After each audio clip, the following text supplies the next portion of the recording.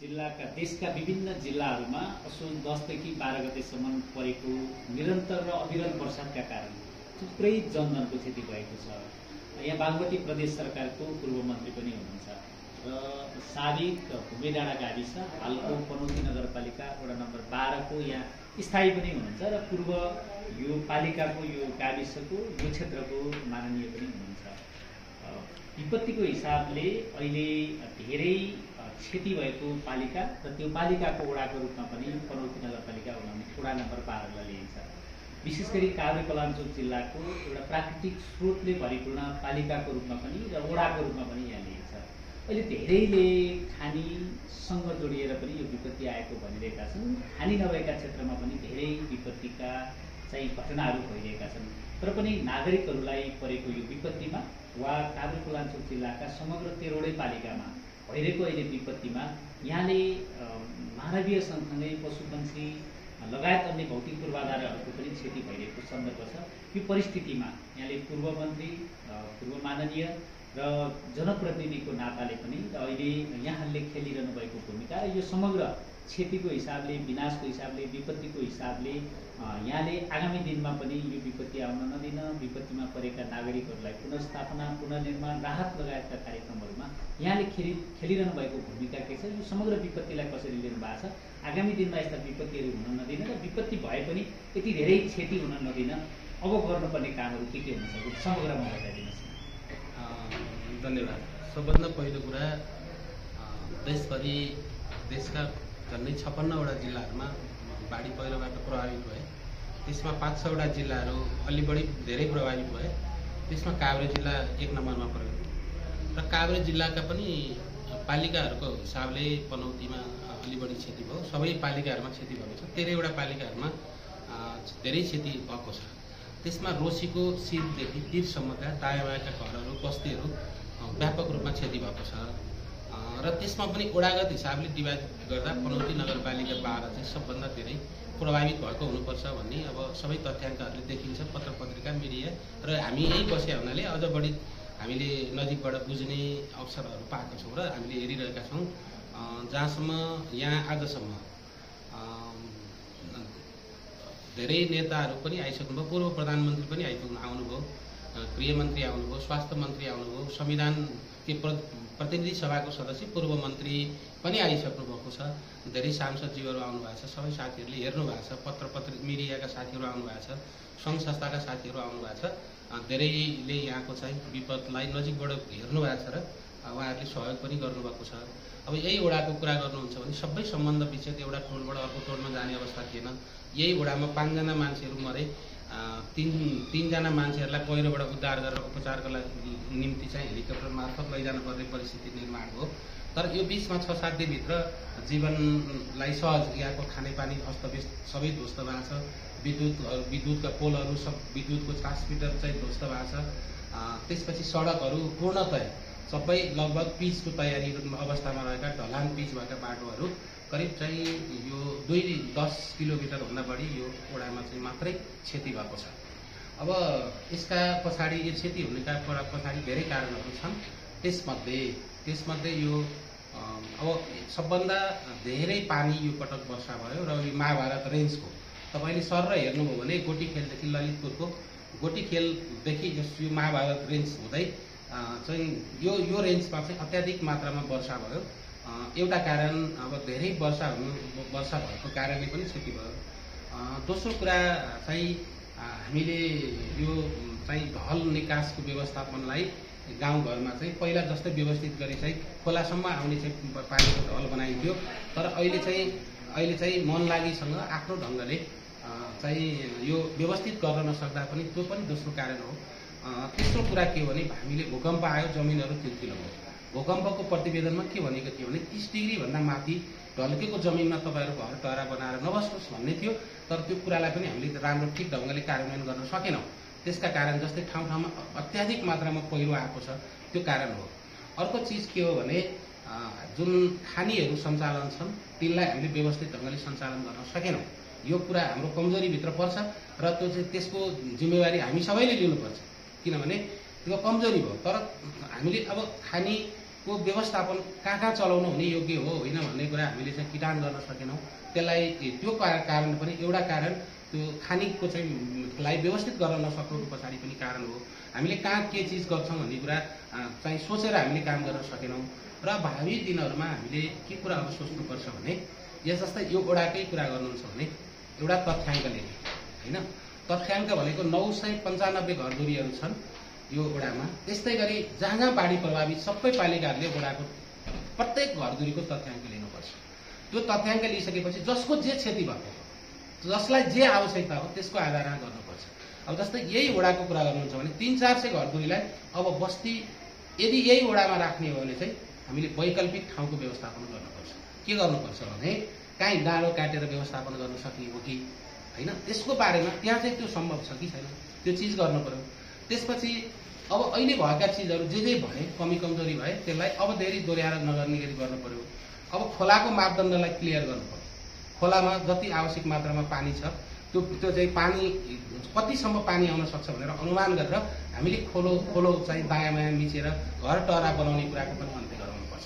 एउटा चाहिँ मापदण्ड जस्तै तपाईँलाई अहिले आज भन्नुहुन्छ भने धेरैले मलाई गाली गरेको थिए म गाउँ विकास समितिको अध्यक्ष हुँदा सडकको पाँच मिटर मापदण्डबाट चौवन्न साल पचपन्न सालदेखि सडकको पाँच मिटर छोडेर बनाउनुपर्छ भन्दा त तपाईँ साँच्चै मापदण्ड छोडेकोहरूको अझै पनि एक दुईवटा के अरे घरहरू बाँकी रह्यो। त्यो चाहिँ त्यो पनि पुगेन किनभने खोलाको हामीले पुरा मापदण्ड छोड्नु पऱ्यो। अडतिस सालमा रुढी आयो केही खोलाको चाहिँ अब त्यो जता जानुपर्ने हो त्यो ठाउँमा थिएन खोलो। अहिले फरक ठाउँमा थियो। अब अहिले नै अहिले अहिले फेरि खोला आयो तपाईँले देखिहाल्नु भएको छ खोला चाहिँ यहाँको दुइटैतिरको खोला हेर्नुभयो खोला तिरुसी दुवैतिरको त्यो चाहिँ आफ्नो अनुकूलतामा हिँडेको छ। एक ठाउँमा गयो ठोकियो त्यसपछि त्यो चाहिँ त्यो अलिक चट्टान अलिक बलियो भाग भएपछि अर्कोपट्टि गयो। अर्कोपट्टिबाट फेरि त्यहाँ बलिएपछि त्यतातिर आयो। यसरी चाहिँ एउटा डागबेली आकारले पनि क्षति गराएको छ। धेरै जमिनहरू यहाँ क्षति भएको छ। खेतहरू क्षति भएको छ। यो चिजहरू भयो र यसलाई अब अबको भावी दिनहरूमा चाहिँ स्वराज्यले यो हामीसँग भूकम्प लगायतका थुप्रै चाहिँ मा जो दैविक प्रकोपहरू आउँछन् त्यसको निम्ति हाम्रो तयारी पनि राम्रो व्यवस्थापन छ। तपाईँलाई तिन दिनसम्म त हामी अन्न धुन्द हामी एउटा टोलबाट अर्को टोलमा जान सक्ने थिएनौँ। तपाईँ भूकम्प त्यो पुरिएको मान्छेलाई त्यहाँ पाँचजना बल्ल बल्ल जान सकेपछि अघिल्लो दिन तिन चार बजेबाट लगभग बाह्र बजेतिर पुरिएको हुनुपर्छ। पुरिएको मान्छेलाई भोलिपल्ट चार बजे हामीले निकालेर लगेर दुईजना त जिमितै अहिले उद्ध- उद्धार भयो जुन उद्धार भए त्यहाँ उहाँहरूको उपचार भइरहेको छ सम्भवतः उहाँहरूलाई राम्रो भएको छ। अनि यस्तो चिज हो। अब मैले बाह्र नम्बर बाहेक नजिकका पालिकाहरूमा पनि सम्पर्क गर्छु। अब मैले अहिले आजभोलि तपाईँले हेर्नुभयो भने म बाहिर धेरै देखिनँ। मैले आफूले आफ्नो बाहिर धेरै म चाहिँ अ, हिँडे अब जसले जो जे गर्न सकिन्छ। त्यो सम्भव भएको खानेपानीको व्यवस्थापनमा के गर्न सकिएला? होइन लत्ता कपडा कसलाई कसलाई चाहिएला? त्यसको व्यवस्थापन के गर्न सकिएला? अनि विद्युतको छिटो छरितो कसरी चाँडो बत्ती लिएर आउने भन्ने कुरा। अनि यहाँ चाहिँ सडक अब तपाईँले देख्नु भएको थियो। यो वडा कार्यालय आउने सडकसम्म थिएन। सम्पर्क विच्छेद थियो। आज तपाईँले करिब करिब सात दिनभित्रको प्रगति पनि यो ओडाले गरेको छ। यसको निम्ति नगरपालिका अ, ओडाका जनप्रतिनिधिहरू यहाँका राजनीतिक दलका प्रतिनिधिहरू यी सबै साथीहरू यी सबै साथीहरूले चाहिँ सबैको सहयोग रह्यो। अब सबै क्षेत्रको सहयोग हो। तर यो विपत्तिमा चाहिँ हामीले राजनीतिक पार्टी होइन भन्दा विचार भन्दाको कुरा अब हामी चौरासीको निर्वाचनलाई लक्षित गरेर राहत वितरण गर्नेदेखि यो ढङ्गले हामी लाग्यौँ भने चाहिँ फेरि पनि हामीले गर्न सक्दैनौँ। तर आज के देखिन्छ भने कसले जस लिने कसले नलिने भन्दा नि यो समस्याको बेलामा जसले जसले जसरी सहयोग गर्न सक्नुहुन्छ त्यसरी सबैले मिलेर सहयोग गर्ने हो भने हामीले चाहिँ सकारात्मक कुराबाट हामीले अगाडि बढायौँ भने वास्तविक हामीले यो अप्ठ्यारोमा परेका सबै नागरिकहरूको समस्यालाई सम्बोधन गर्न सक्छौँ।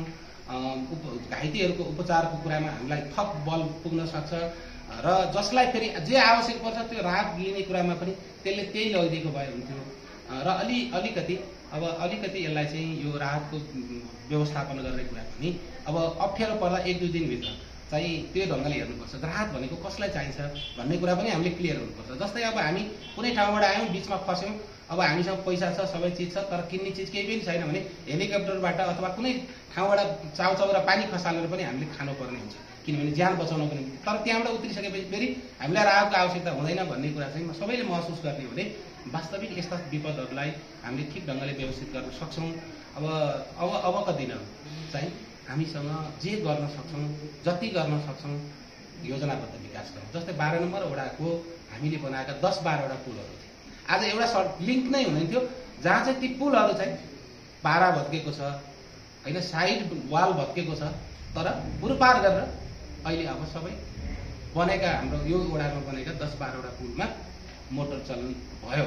अब त्यो- त्यही गा त्यहीँबाट अब गाडी आवजावत गर्न सक्छ मान्छेहरू आवजावत गर्न सक्यो। यो चार पाँच दिनको पाँच छ दिनको पिरियडमा किनभने एक साइडबाट बाटो बनाएको छ। अब काहीँ काहीँ त तपाईँलाई डाइभर्सन गरेर अर्को ठाउँबाट अहिले खेत भएको ठाउँबाट पनि बाटो बनाएको छौँ केही दिनको निम्ति भनेर। त्यसरी पनि उहाँहरूले सहजीकरण गरिदिनु भएको छ। अब अहिले कतिपय कुरा यो विपदको बेलामा चाहिँ हामीले एउटा यो राजनीतिक विचार अलि यी चिजहरूभन्दा अलि माथि उठेर भोलिको निम्ति आफ्नो व्यक्तिगत स्वार्थभन्दा माथि उठेर समस्याको समाधान गर्न गर्नुपर्छ। हामीले खालि चाहिँ यसो आउने अब मैले यसो गरेँ यसो गरेँ भनेर स्ट्यान्डबाजी गर्ने ढङ्गले मात्रै सबै काम गर्दै गयौँ भने फेरि पनि हामी फस्छौँ र त्यो चाहिँ निश्चित क्षणिक त हुनसक्छ। तर दीर्घकालीन त्यसले चाहिँ त्यसको असर चाहिँ पर्छ। त्यसो भएको हुनाले हामीले हाम्रो जे जति क्षति भएको छ अब यो काभ्रे जिल्लामा जतिको निधन भएको छ उहाँहरूप्रति भावपूर्ण काभ्रे मात्रै नभई देशका सबै ठाउँ बाढी पहिरोमा निधन हुनुभएका सबैप्रति भावपूर्ण श्रद्धाञ्जली छ। शोक सन्तप्त परिवारमा गहिरो संवेदना छ। घाइते जनहरूको शीघ्र स्वास्थ्य लाभको कामना गर्छु। र अब राज्यको तर्फबाट अब बनाउने योजनामा सबै सङ्घ संस्था व्यक्ति मिडिया कर्मीहरू सबै साथीहरू राज सबै क्षेत्रका साथीहरू मिलेर चाहिँ यो अहिलेको विपत्तिलाई समाधान गर्नतिर लागौँ सही तथ्य सही ठाउँमा हामी पुगौँ र कहिलेकाहीँ के हुन्छ भने कहिलेकाहीँ मन मिल्दैन कहिले के हुन्छ कहिले के हुनसक्छ कसैलाई मन मिल्दैन भन्दैमा हुँदै नभएको कुरा पनि हामीले चाहिँ एउटा आरोप लगाउने प्रत्यारोप गर्ने यो यस्तो बेलामा पनि त्यस्तो देखिन्छ। त्यो त्यो चिजको पनि सबैले मिलेर गर्न सक्यो भने राम्रो हुन्छ। खालि अहिले एउटा प्रचारमुखी ढङ्गले हामीले जान थाल्यौँ भने त्यसले फेरि राम्रो गर्दैन। वास्तविक तथ्यमा आधारित भएर हामी काम गर्न सक् थालौँ अब यहाँ यो वडाकै कुरा गर्नुहुन्छ भने फेरि हामी राहत दिन्छौँ। अब त्यो चाहिँ उहाँहरूले घर यहीँ बनाएर व्यवस्थापन गर्ने अथवा अन्त राम्रो बनाउनु भएन। फेरि अर्कोचोटि अर्को विपद आउँदाखेरि त्यो घर भत्किने खालको परिस्थिति नहोस्। किनभने जे चिज बनाएको छ त्यो चिज चाहिँ पछिसम्म रहोस्। अब सडकको मापदण्ड पनि अलिकति यो खोला एरियामा चाहिँ सुधार गर्नुपर्छ। खोलाको क्लियर गर्नुपर्छ। अब बनाउने चिज चाहिँ म पुलको ठ्याक्कै पिलर स्टाइलको चाहिँ वाल लाउनु लाएन भने चाहिँ यो खोलामा चाहिँ वाल लाउनुको अर्थ हुँदो रहेछ।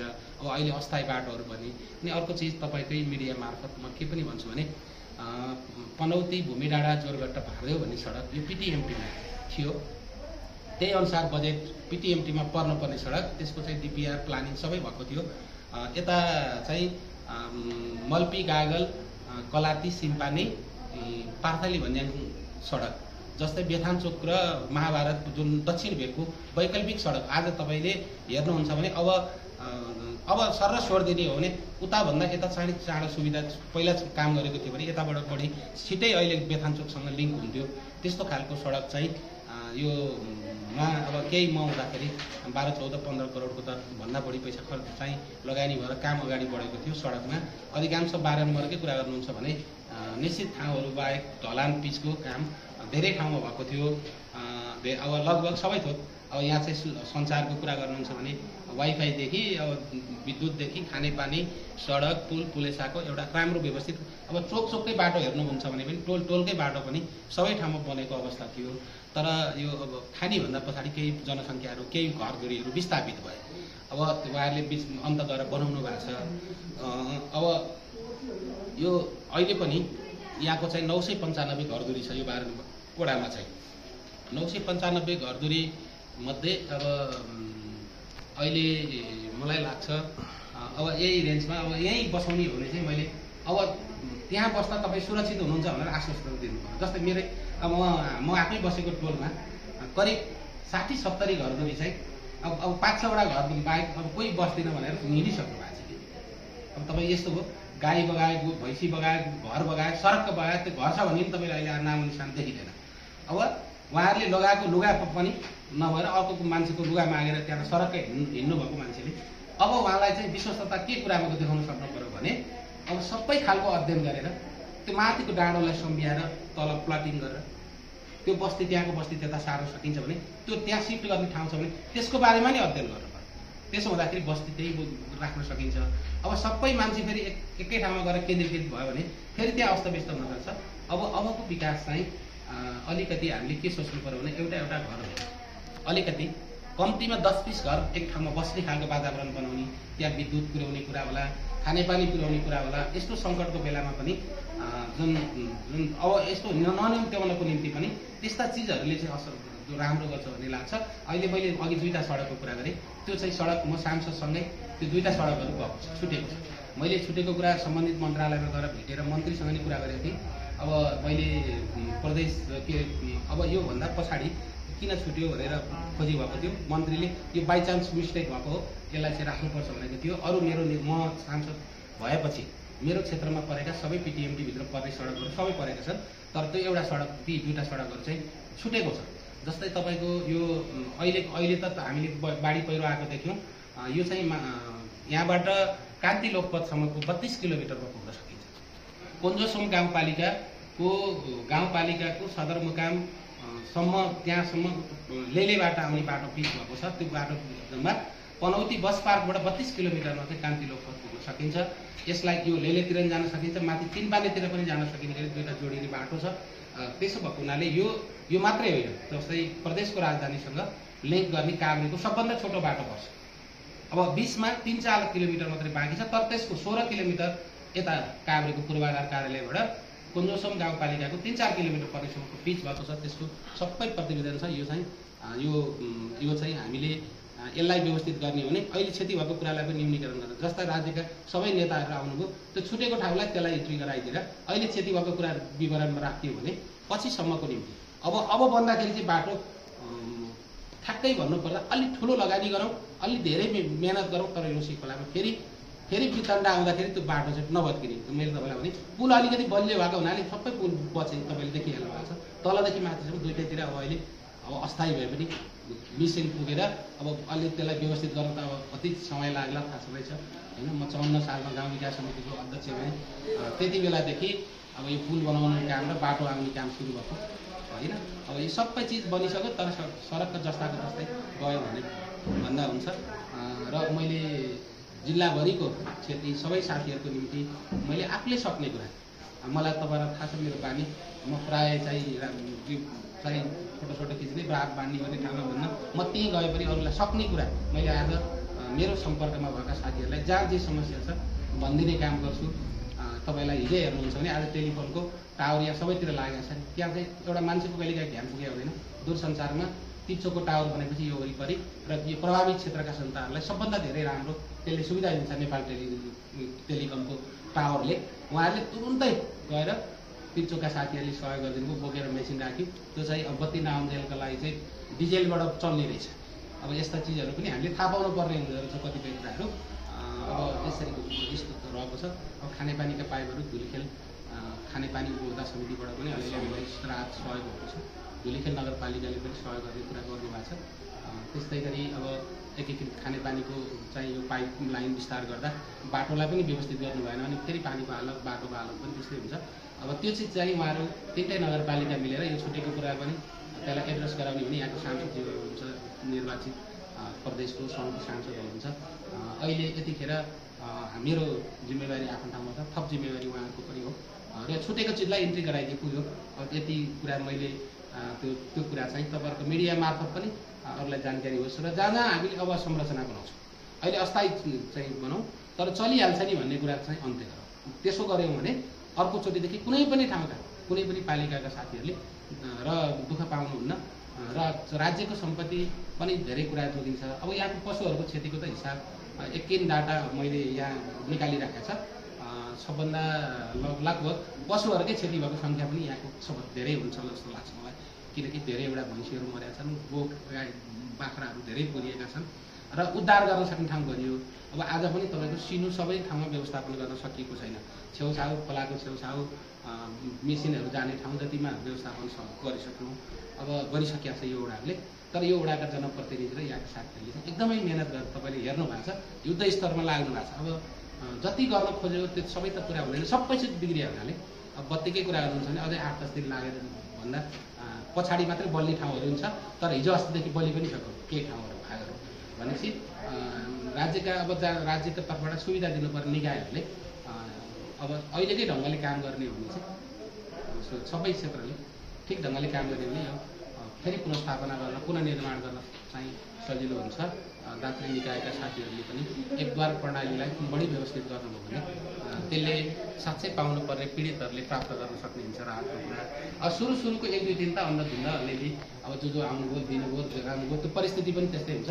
तर एक दुई दिनपछि सहज भएपछि त्यो ढङ्गले गर्नुपर्छ र मैले यति चाहिँ भन्छु साँच्चै जसको जे भएको त्यो चाहिँ तथ्यगत आधारमा हुनुपर्छ। जस्तै मान्नु होला मेरो घर पनि बगाएको छ। मेरो भएको तपाईँको माथि गाउँमा भएको त्यो क्यानदेखि मेरो भाँडाकुँडा सबै भएर पाल्सा लगाएको एउटा घरहरू सबै तिन अब तिम्रो पनि बारी पनि जम्मै बगायो होला। अब मान्नु होला म चाहिँ म म मेरो अर्को ठाउँमा घर पनि छ। मेरो अर्को पनौतीमा मेरो घर छ मैले भूकम्पपछि बनाएको घर छ। त्यो घर आमा बसिएको छु। अर्को एउटा घर छ बुवा आमा बस्नुभएको थियो। अब अहिले पहिरो आएर फेरि बस्नु नसक्ने भयो। तिन चारजना परिवार अहिले। भनेपछि म मैले भनेको। यसको अर्थ के हो भने त्यहाँ मभन्दा कैयौँ गुणा बढी पीडित छन् तत्कालको निम्ति मान्नु होला मा म मैले उदाहरण मात्रै भनेको म त्यो मेरो चाहिँ अब खालि क्षति भएको कुरा चाहिँ जसुकैको भएको होस् होइन विनोद खेतानकै क्षति भएको छ भने क्षति भनेर लेख्नुपर्छ त्यो त राज्यको क्षति हो नि। जसको क्षति भएको छ क्षति भएको कुरालाई एकिन विवरण ल्याउने। अब अहिले दुई दुई थान जाली दिए हुने मान्छेलाई चाहिँ दस बोरा चामल रात पटक पटक गरेर दिएर कुनै अर्थ छैन जस्तो लाग्छ। जसलाई जे भएको जसलाई जे चाहिन्छ। जस्तै अहिले तपाईँ भन्नु न घर सबै भाडा लगाएको छ भने भाडाकुडा कति घरलाई चाहिन्छ त? भने भाडा झिक्नै नपाएको घर कति घरलाई भनेर हामीले तथ्याङ्क हामीसँग छ भने दस घरलाई दिएको पुग्यो नि। पन्ध्र घरलाई दियो। पूर्ण क्षति भएको घरहरूमा पनि भाँडाकुँडा निकाल्न भ्याएको हुन्छ कि? होइन? एक ठाउँमा थियो भने अर्को ठाउँको भाडा त सुरक्षित थियो होला नि। हो नि भन्नु होला। जसकै जसको जे क्षति भएको छ। मैले भने जे चिज मलाई चाहिने हो आवश्यकता त्यसको सही तथ्याङ्क लिनुको निम्ति चाहिँ सबभन्दा पहिला यो पछिलाई पनि काम लाग्छ र जहाँ जहाँ क्षति भएको छ सबै जिल्लालाई। सबैलाई देश काम लाग्छ। एकिन डाटा जसको जे भएको छ वास्तविकता त्यहाँ बारी लडाएको छ भने बारी लेखिदिने आँगन लडाएको छ भने आँगन लेखिदिने घर लडाएको छ भने घर लेखिदिने दुईवटा गाई भएपछि गोठ लडेर मऱ्यो भने लेखिदिने। तपाईँलाई अर्को चिज म चाहिँ प्रदेशको कृषि मन्त्री भएको बेला पशुहरूको क्षति भयो भने क्षतिपूर्ति दिने कानुन व्यवस्था थिएन। कृषि आइसकेपछि त्यो प्रतिस्थापन विधेयक लगेको सरकारले होइन?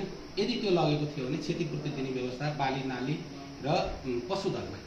त्यहाँ एकदम तपाईँले कार्यविधि क्षतिपूर्ति सम्बन्धी कार्यविधि काभ्रेकै सुरुमा बङ्गुर सुँगुर बङ्गुर मरेकाले चौन्न लाख जति क्षतिपूर्ति पनि पाइसक्नु भएको छ। यो चिज गर्नुपर्छ।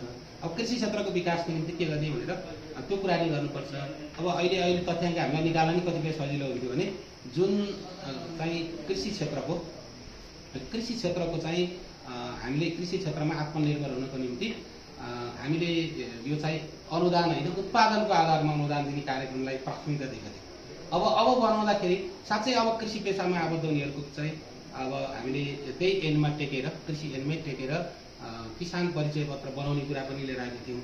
अब दुधमा किसानहरूलाई चाहिँ उत्पादनको आधारमा अनुदान दिने कार्यक्रम ल्याएका थियौँ। त्यो कार्यक्रम घटाइहाल्न नमिल्ने भएर पालिका मार्फत पठाएको छ तर थोरै रकमहरू पठाएको छ भनेपछि यो जुन पशुहरूको क्षतिपूर्ति पनि अहिले अहिले जस्तै भनौँ भने त्यो त्यो का क्षतिपूर्ति कार्यविधिमा तिस हजार रुपियाँ एउटा भैँसी मऱ्यो भने पाउने गाई मऱ्यो यदि पाउने बाख्रा मऱ्यो यदि पाउने भनेको छ नि त्यसलाई अब संशोधन गरेर प्लस गर्न नि मिल्यो नि तर हामीसँग पैसा भयो भने कानुन नभएर पनि दिन पाइएन भन्ने कुरा चाहिँ अब अन्त्य गरिरहेको छ। किनभने त्यो पहिलो नै मान्नुपर्छ तपाईँले क्षतिपूर्ति सम्बन्धी पशुहरूलाई दिने कुरा।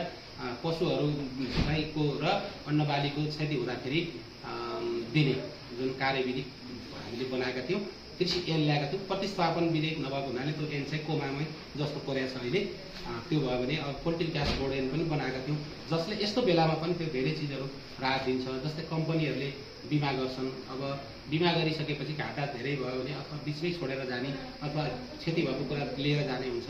अब सामूहिक बिमा कार्यक्रमहरूलाई पनि प्राथमिकता दिनुपर्छ। यही सामूहिक बिमा कार्यक्रम छ त्यसले केही कुराहरू अब किसानहरूको पक्षमा कति गर्न सक्छ यो गर्न सक्छ उसले पनि गर्ला जहाँ चाहिँ केही पनि कसैले गरेको बिमा पनि नभएको ठाउँलाई त्यो कार्यविधिले ठुलो काम गर्छ अहिले कार्यविधि मौजुदा छ। र मलाई लाग्छ प्रदेश सरकारले क्षतिको विवरण पठाउ चाहिँ अब निवेदन लिएर त्यो चाहिँ क्षतिपूर्ति दिने कुरा अ, को सूचना गरेको छ। तपाईँले यस्ता कुराहरूलाई पनि अब कोही पीडितहरूले थाहा पाउँदैन। त्यो चिज चाहिँ गर्नको निम्ति तपाईँहरूकै मिडियाहरूको मार्फत मिडियाका साथीले अलिबढी अरू मिडियाहरूसँग पनि तपाईँहरूले लिएपछि पनि हुनुहुन्छ। यसरी गर्न सकियोस्।